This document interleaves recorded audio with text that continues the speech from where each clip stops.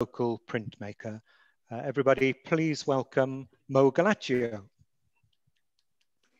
Um, thanks very much, Paul. Um, can you hear me? Can you see me? Do I need to do anything? Yes, um, is everything okay? We can see you. Um, I'd just like to say thank you very much um, for letting me represent Forest Poets tonight with this special reading with Pascale, and also to congratulate you on all the readings that you've organised. Um, yes, I'm representing Scotland, and for people who don't know me, um, I was born and mostly brought up in Scotland, but I've got English parents, so I'm bilingual. And when I started to write, some of the poems came out in Scots and some of them come out in English. So you just have to take your choice. Um, I'm only reading um, two short poems um, today. The first one is a lockdown poem, and it's called The State of Things. I thought to try a boasting sonnet but found it nothing much to brag about. A long lived life and full of incident, but who will vouch that it has been well spent? In isolation, I've snailed to a crawl, no sourdough baked, no masterpiece, no novel. Bees bumble, fumble, putting me to shame. Procrastination's now my middle name. I tried to stem the tide. I did my best to stop the war and every nuclear test. I failed. In spite of my endeavors, I fear the Tories will be in forever. I'm planting up my garden with lavender and pinks, a diversionary tactic. This government stinks. And now spring. I wandered lonely as a cloud. That's, I'll just start again there. I wandered lonely as a cloud that floats on high o'er vale and hills.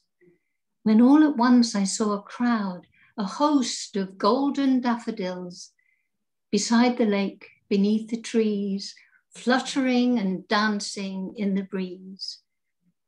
Wordsworth's daffodils. Mine daffodils are the Tesco variety. Promises. Picked at dawn for meager pay by frozen fingered migrant workers, bedded in makeshift villages of caravans, packed in boxes, airlifted, 10 stems in bud, scant leaves, secured by two elastic bands, a crate of graduated stripes, white through green to lemon. No fluttering or dancing, but at a pound a bunch, a vaseful for my kitchen, each jaunty trumpet of fanfare, ta-da-da-da, yes, there will be spring. Thank you. Yay. Thank you so much, Mo Gallaccio. And uh, I love that daffodil poem. Thank you very much for reading it. uh, in fact, my daffodils that I bought for a pound have just died on me today. So it's nice to, it was almost like an elegy to them. Our next poet is Sophia Brandner.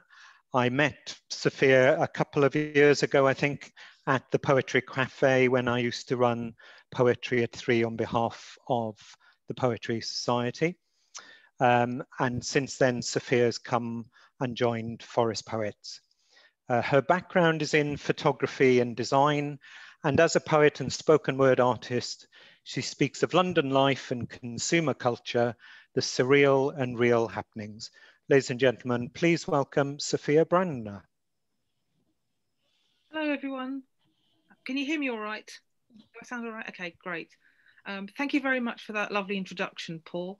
And it's a pleasure to be part of this today, along with um, Mo, which I'm happy to have heard, and with Pascale Petit as well. So thank you very much. Um, I'll start with something inspired by lockdown and that's this, as it's um, International Women's Day, it's going to be about women. So um, this is about a, a, a woman that I've noticed in my immediate neighborhood walking around. it's called Power Walk. Left, right, left, right. Stomp, stomp, stomp. She marches in the middle of the road. The 4x4s have the audacity to park on her pavement. Stomp, stomp, stomp. She takes charge. Her long tousled rusty hair wildly sways with each bold step.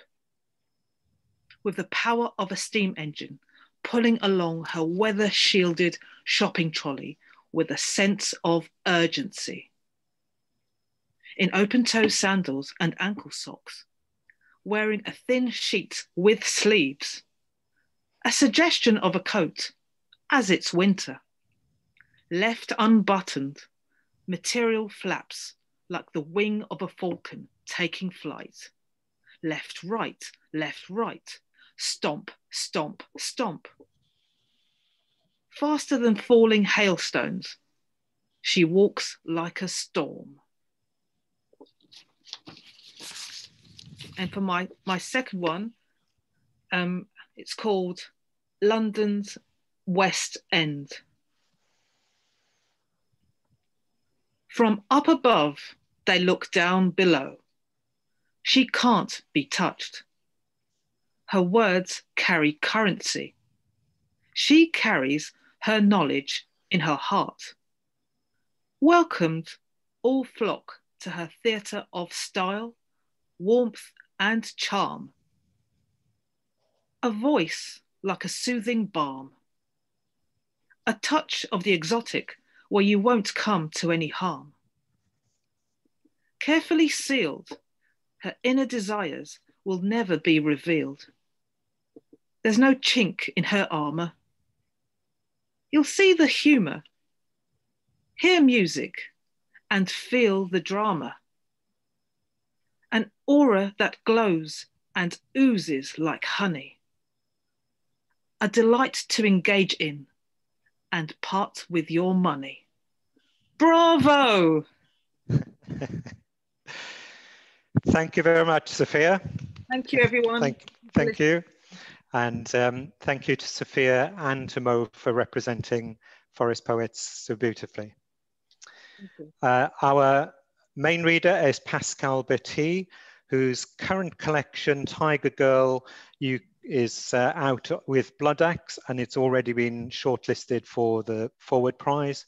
Her seventh collection, Mama Amazonica, won the inaugural Laurel Prize for Nature and uh, at least four of her previous collections were shortlisted for the T.S. Eliot Prize. And Pascale is judge for this year's Forward Prize too. Ladies and gentlemen, please welcome Pascale Petit.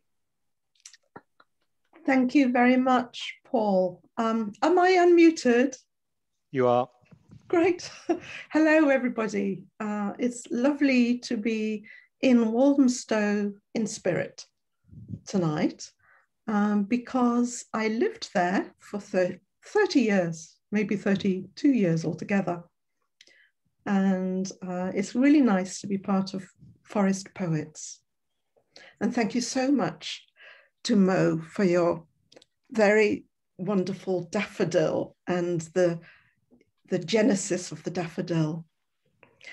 And to Sophia for your power walk, Falcon.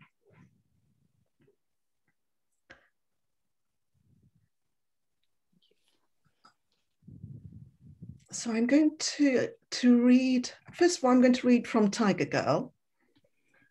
And then I have quite a few requests. And it's really lovely to have these requests because it meant that I didn't have to worry too much about choosing what to read because that can be quite hard. So I'll start with the Tiger Girl, a few of which are, are requests. And this is my grandmother, my Indian grandmother, who brought me up in, in Wales. her gypsy clothes. I used to wonder why my grandmother stared so hard into the fire, even after I found the cardboard box at the back of the coal house and drew out of it flame, chili, emerald, sequin sparks, embroidered mirrors orbiting wraparound skirts, shawls trimmed with seed pearls, silver bangles like Saturn's rings. Her embarrassment when she caught me trying them on and explained they were her gypsy rags to tell fortunes at fairs. Only at her funeral did the story come out. Her birth in Rajasthan to her father's maid. I think now of my great grandmother dancing for her master's guests, grateful to have her baby brought up as his wife's. I think of the coal grease, black dust, and memories that burn slow as anthracite. How some colors don't fade, however deep they're buried. How even a dowry of rags smouldering in a box can flare in a winter grate, and how to own the country of her birth, a woman might have to wear a fire.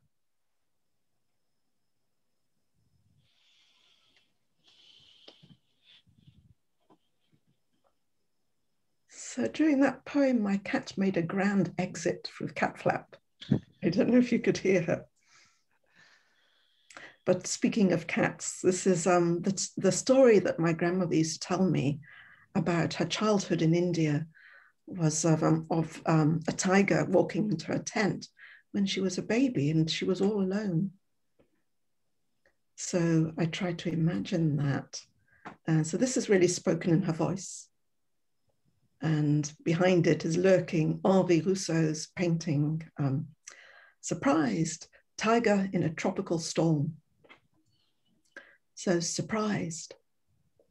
When lightning flickers over my cot and the air tingles with the electric charge of the great cat's fur, I cross into the night where my jungle tent is pitched.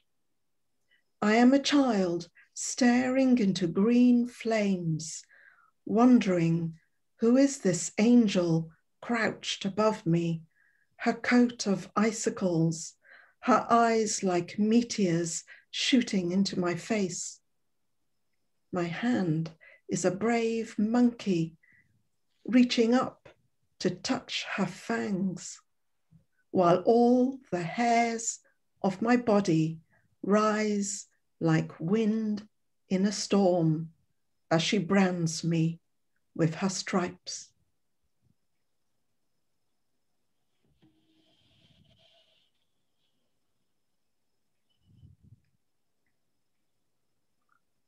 So, um, so I went to India to the tiger forests because I wanted to see tigers for myself close up.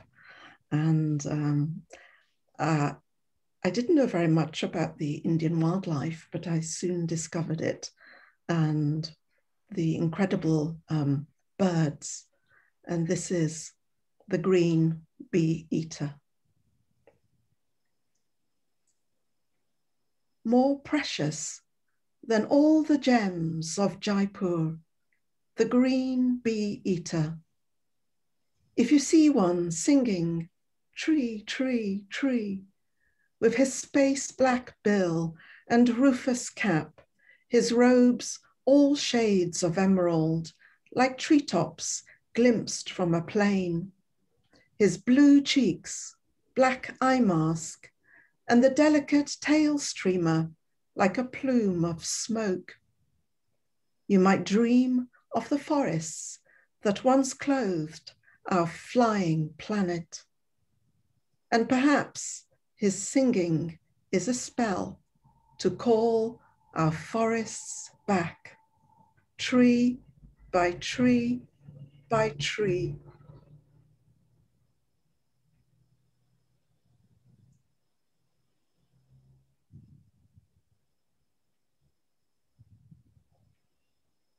So my um, my grandmother brought me up when I was a baby, and then I went back to Paris to my parents. Well, not really my parents, to homes and things.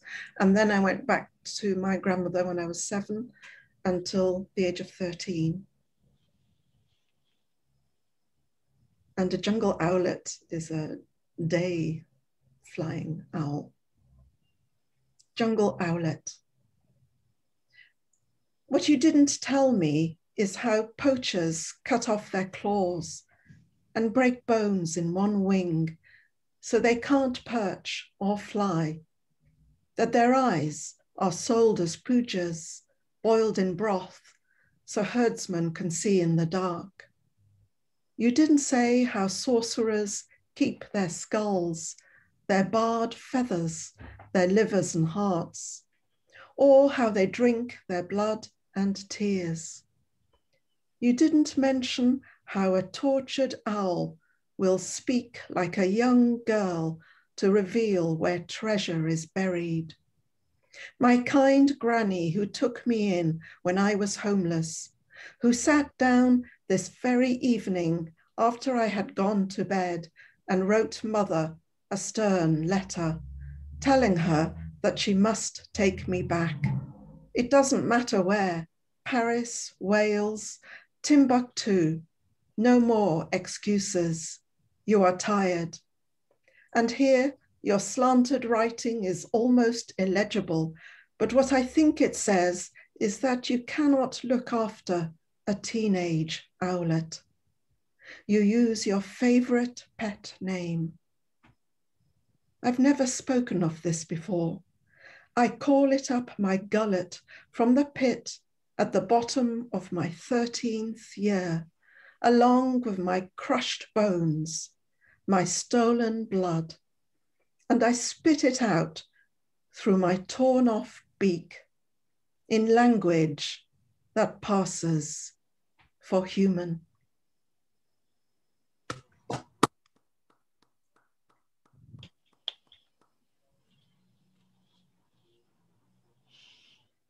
So um, then I went to live with my mother in South Wales.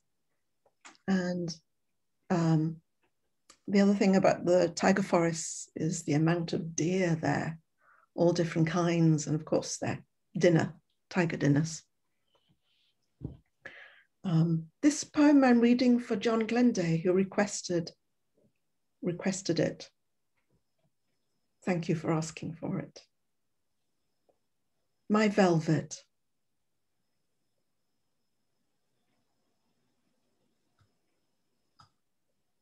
The first thing that happened when we arrived at the new house, the last act of my teens, let me remember it, even the pain, even the sawing sound, as I sat obedient on the wooden chair.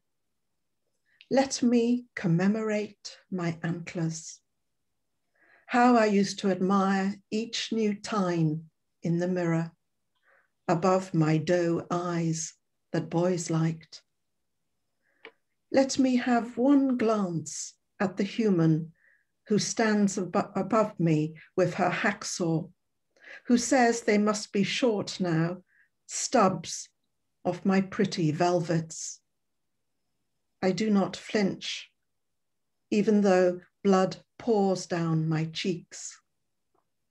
Mother says they are made of keratin and don't hurt but they were pulsing with nerves, enough for me to avoid low branches. I have left the wild and my herd. I am a tame fawn now, childish, so that mother feels better. She scrubs my face clean of shadow and eyeliner. She sucks the blood from the antlers to make herself young.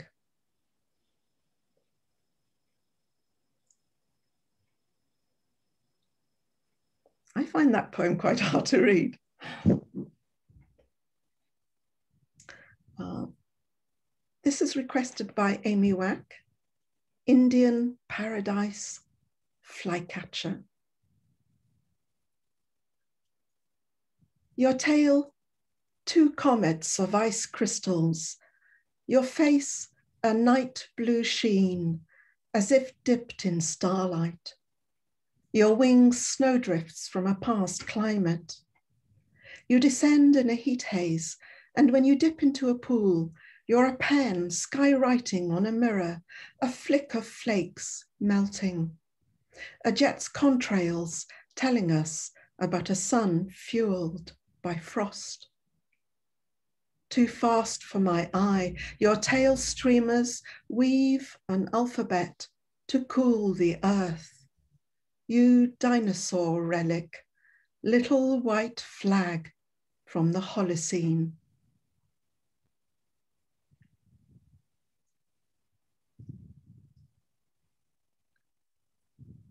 And the last poem I'm going to read from Tiger Girl is um, was requested by Chris Arning, and this is Walking Fire. So in it, there's a reference to um, the, the best part of, of um, the tiger forest that I went to, which was called Tala Zone in Bandhavgarh National Park. There were three national parks that I went to, and Bandhavgarh was um, very plentiful for tigers. And there, there was um, Queen Spotty, Spot T, capital T, um, because of a calligraphic T above her eye. Walking fire. It's high summer and the grass hisses where the tigress treads. Her pads soundless on the tinder track. Her flanks sway the cubs cool in their amniotic sacs. She is a walking fire. Her glance, a flare that singes my lashes. I seem to be watching her through a veil of snow or ash, the sky as I know it falling, falling. And when her face comes into focus, it's like the membrane between us tears. She brushes against the jeep as she saunters past on the long patrol of her realm, her fur dripping after a soak in the stream. Can you see me, Gran? I ask. I'm as close to a tiger as you once were, but I won't touch. A baby wouldn't alarm her, but I would. You're sitting opposite saying, it was like staring at a frozen sun.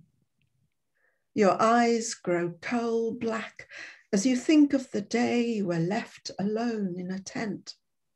I'm staring at the fire in the living room, anthracite glowing with forests of our coal age, flickers of fern, horsetail, club moss, embers spitting onto the mat like saber tooths springing from a cave.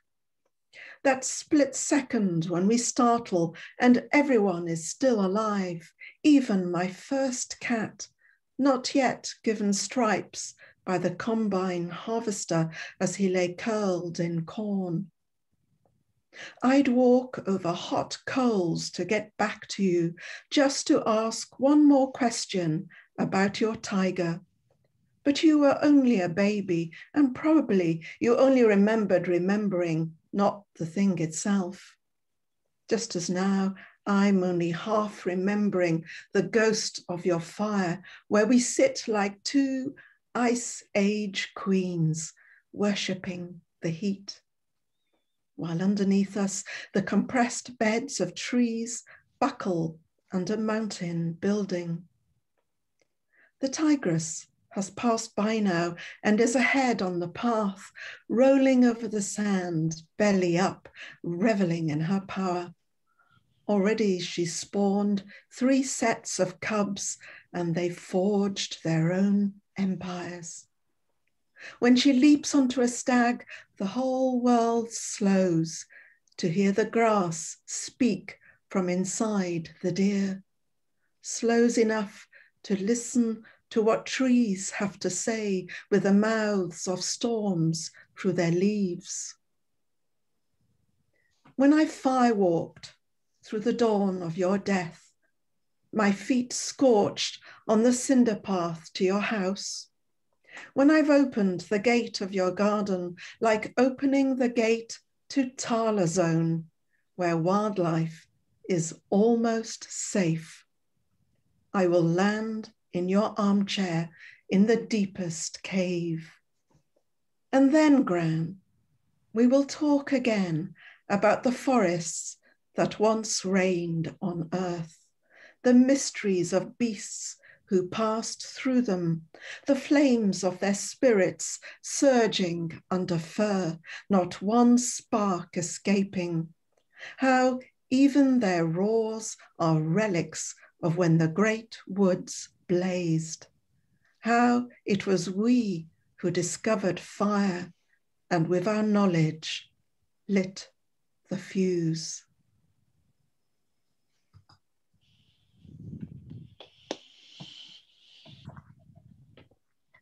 So now I'm going to read uh, a poem for Marion Fielding. Um, it's from the Zoo Father, and it does come with a trigger warning. Self portrait with fire ants. To visit you, Father, I wear a mask of fire ants when I sit waiting for you to explain why you abandoned me when I was eight, they file in, their red bodies massing around my eyes, stinging my pupils white until I'm blind. Then they attack my mouth.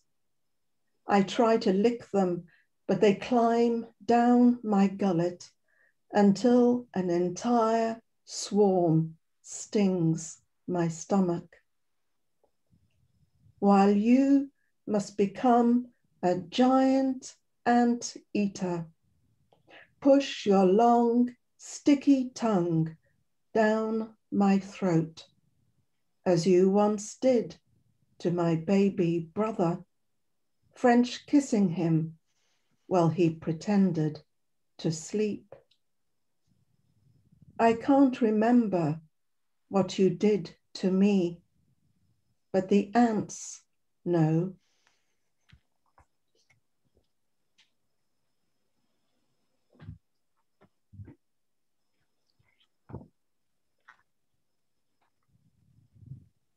So, um, and I had a request for Arrival of the Electric Eel, which is the first poem from Fauverie, my um, sixth collection and uh,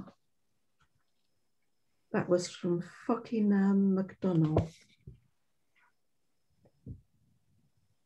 So the Matses are um, a tribe in the Amazon who wear cat whiskers in their cheeks.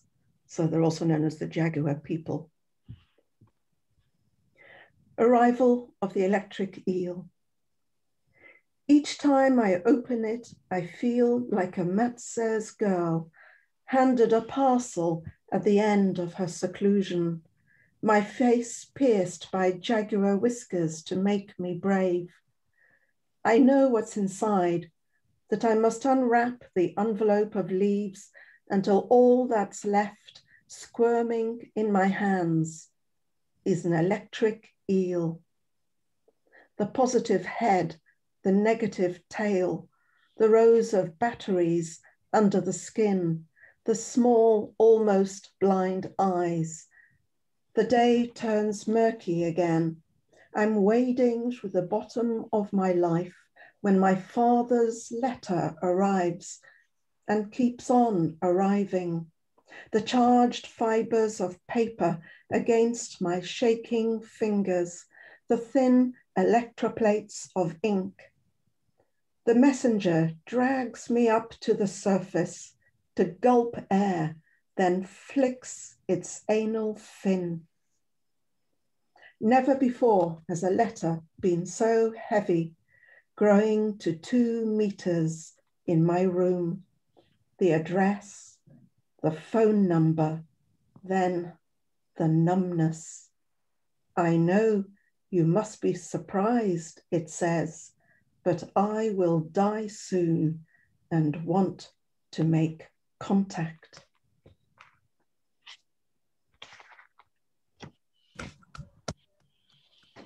And um, also the last poem from Fauverie was, was um, requested uh, by Harriet, Harriet Bradford. And um, hello, Harriet, if you're there. And um, oh, it, it's about Notre Dame de Paris, uh, which is one of my friends. And um, the most special thing about the cathedral is the is the um, the bell Emmanuel. Uh, and um, I wrote Fauverie and a gr great deal of Mama Amazonica as well in Paris on writing retreats. And uh, incredibly, you know, it's been burnt since then. But Emmanuel, I believe, survived. Emmanuel, in the last days, after all he said and didn't say, his iron tongue resting in the open bell of his mouth, the belfry of his face asleep. I climbed the spiral steps of the tower, up the steep steps of the bell cage to the bourdon, the great bumblebee, Emmanuel. I stared at that bronze weight, the voice of Paris, as if it was my father's voice, and I had climbed up his spine, all 13 tons of copper and tin, the clapper half a ton of exorcised iron. I washed the outside with holy oil for the sick, the inside with chrism. Let all badness be banished when he rings. Let the powers of the air tremble, the hail and lightning that fell from his tongue on our last days together. I made the sign of the cross. His note was F sharp, the hum deep enough to reverberate through the rest of my life. I stood upright in him. I placed myrrh inside his mouth incense smoking like a last cigarette. I praised him. I assembled the priests. I mourned his death. Storm clouds dispersed, thunderbolts scattered.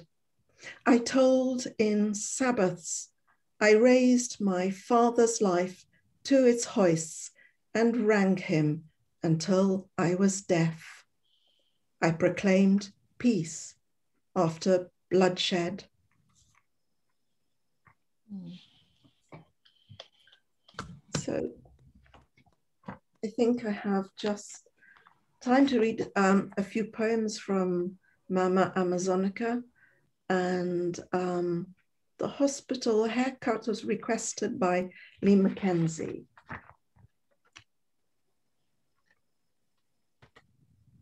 I don't think I've read this before.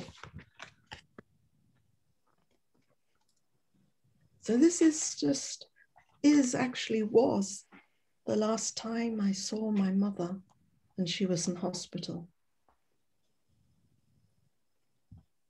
The hospital haircut. When I last saw my mother, she was sitting inside a shaft of sunlight, her auburn hair still red. The hospital hairdresser drew up strands so fine it was like looking at fiber optic threads. Maman's eyes were closed. The corners of her lips trembled. The freckles on her face were lit like the spots on a deer, but her skin was pale as a python that has spent its entire life under a heat lamp in a tank. She opened her eyes and saw me I had not visited for years. Her hazel irises were cages for creatures that wanted to break out and eat me. When she spoke, her mouth was the place where a python tries to swallow a doe, then vomits it because it's too large. The hairdresser continued combing through all this. The curls sparked as if they wanted to sprout antlers. Those chignons of her glamorous past she'd tamed with backcombing and Elnett and a thousand pins. Maman acknowledged me, then she closed herself to all but the kind hands that stroked. Her tongue flicked over her dry lips like a snake's. But I knew it was the tongue that had talked to angels as they swept their great wings over her forehead when she was nine. My child mother, with a sheet pulled over her face, against the wingtip piercing her small window. The miracle of how such a vast being could get through. Then the icy touch on her brow that let in the visions, the fairies that danced on her ceiling. When she lifted her glance to me one last time, all I heard was the snip of the scissors. All I saw were filaments fluttering in a halo around her head, her fairy wings, angel feathers fallen on the floor and her thoughts locked inside her now cropped scalp like a wildfire.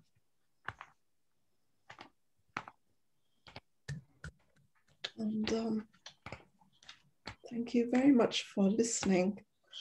And I'm just going to read one last time where in Mama Amazonica, um, the, the Amazon rainforest is mainly is sometimes imagined as a patient, a psychiatric patient, and sometimes it's my mother who is the Amazon rainforest. And in this poem, it is the um, the Amazon rainforest who is undergoing a sleep cure or sleep treatment, which is what my mother had, one of the many things that she had. Rainforest in the sleep room. The highway goes through the Amazon's brain like an ice pick through an eye socket. First, we clear her synapses. Then she forgets her animals. Our bulldozers drive through the rainbow boa of her cortex like a scalpel those sleeping coils still dreaming up new species. Hallucinations we've blitzed with ECT. The bilateral current purrs through her frontal lobes like a forest of songbirds electrocuted by rain. Afterwards, her thoughts are nestless except for a few chicks up in the last ironwoods, patrolled by armed guards. Scientists climb ropes to monitor her stats, bring motherless macaws down to incubators, measuring their wings, weighing naked souls. As if she's a patient in the sleep room who won't wake, her dreams tree lines traced by the EEG pen. The only animals left are grainy films on camera traps and a recording of the last musician wren whose still small voice is like the beginning of the world. Thank you very much. Well, thank you very much, Pascale.